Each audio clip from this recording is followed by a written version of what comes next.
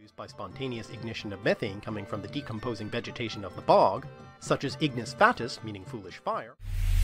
For those of you who don't know, will o' the wisps, also called ignis fatuus Latin for foolish fire, sprang up. That is an ignis fatuus, was my first thought, and I expected it would soon vanish. It burnt on, however.